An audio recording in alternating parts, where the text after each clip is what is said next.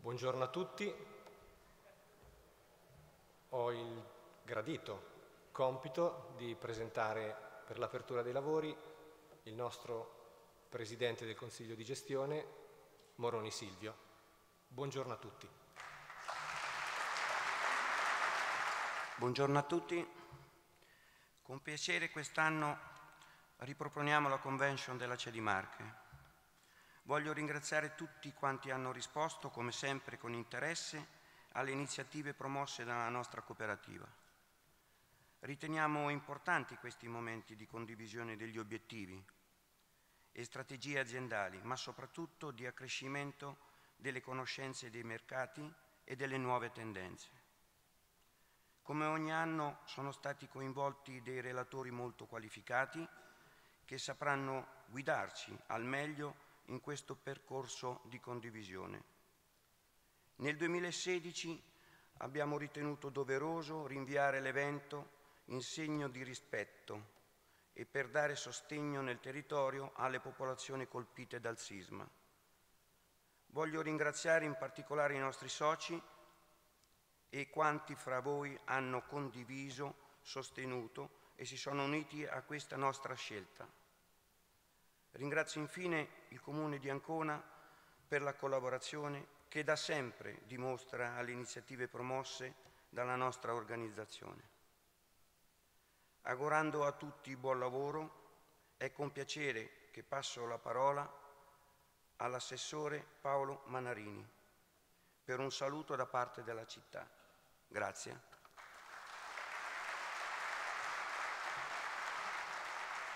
Eh, sono Paolo Manarini, l'assessore ai lavori pubblici del Comune di Ancona e sono qui per portare essenzialmente i saluti della città di Ancona a tutti voi, alla vostra presenza.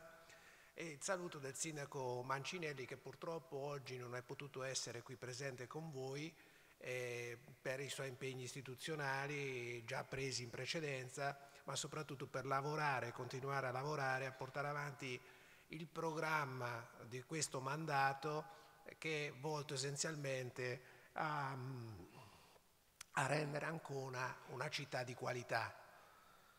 Voi quindi siete una grossa presenza, una, siete un, un gruppo molto importante per il nostro territorio in quanto siete stati costituiti circa 40 anni fa, 18 soci, ma soprattutto perché avete 89 punti vendita tra Marche e Abruzzo, quindi la vostra presenza è una presenza ben radicata sul territorio che sta nel settore della grande distribuzione e quindi una grande realtà imprenditoriale locale.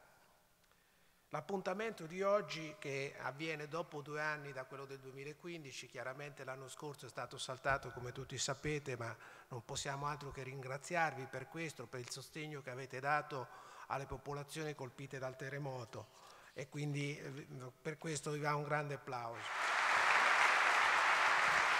Bene, passando, passando al tema della convention, quest'anno parliamo di servizio, evoluzione del servizio, senza voler anticipare un po' quello che saranno poi l'oggetto eh, delle relazioni, parleremo oggi di servizio come prodotto, prodotto con contenuto di servizio. Parleremo di servizio declinato nelle persone le persone che tutti i giorni si occupano di servizio e parleremo di servizio anche come contatto, quindi come relazione con il nostro consumatore. Crediamo sia un tema molto attuale, quello del servizio, in un mondo, in un mercato dove ci sono paradigmi che cambiano continuamente e continue accelerazioni, evoluzioni tra online e offline. Quindi questa è stata la motivazione per affrontare questo tema. Chiaramente la giornata di oggi è un momento anche per la nostra organizzazione di incontrare tutti quelli che sono i stakeholder della cooperativa, quindi abbiamo il piacere di avere in platea molti di voi e vediamo che quest'anno come gli anni passati la partecipazione è importante, quindi dobbiamo, vogliamo condividere con, noi, con voi e dare qualche numero.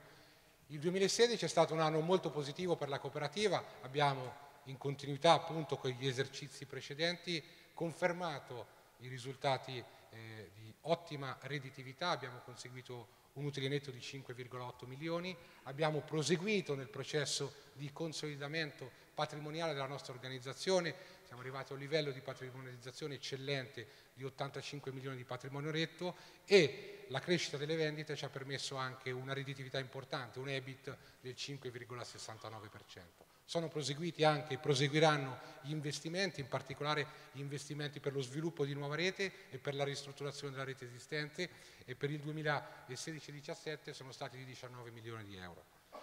Venendo poi al 2017, un anno positivo, lo vedremo anche eh, più avanti, eh, la cooperativa e il nostro gruppo eh, si con te stia viaggiando con una crescita al 31 ottobre a parità del 6,13%, quindi stiamo viaggiando eh, circa 3, 3 o 4 punti più positivo rispetto al mercato. In particolare abbiamo voluto evidenziare qui la crescita che abbiamo avuto sull'ortofrutta superiore ai 9 punti, sui salumi e latticini, sul pesce e sulla carne. Anche nel settore dei generi vari comunque cresciamo oltre 4 punti e mezzo. Quindi sicuramente un anno, un anno positivo e pensiamo di chiudere il 2017 anche nell'ultimo bimestre confermando il trend di crescita.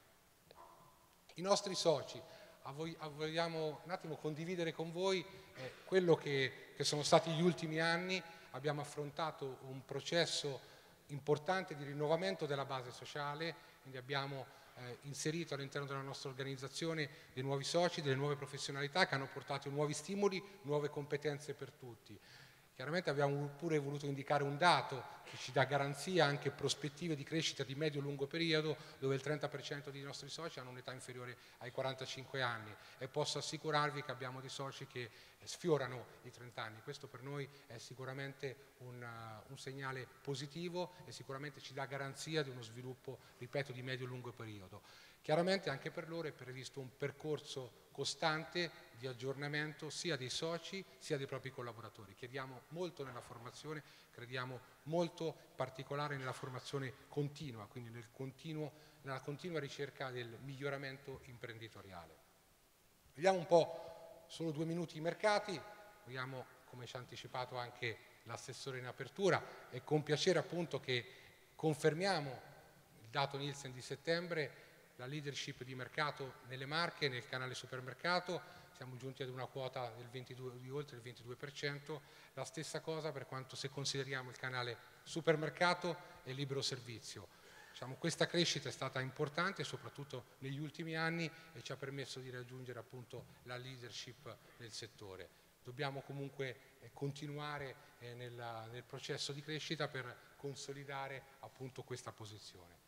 Venendo allo sviluppo della nuova rete, agli investimenti, a quelli che interessano poi a tutti i nostri stakeholder, nel 2017 sono previste quattro aperture, due aperture sono state già consolidate, in particolare una sul nuovo mercato a San Benedetto del Tronto, di circa 800 metri quadri di area di vendita che abbiamo aperto nel mese di marzo, abbiamo aperto un supermercato sempre di 800 metri di area di vendita a Castelfidardo, abbiamo in prossima apertura sul nuovo mercato a Sant'Elpidio a Mare un superstore di 1300 metri quadri di area di vendita e i primi giorni di dicembre abbiamo in previsione di aprire a Falconara sempre un superstore di 1300 metri quadri di area di vendita.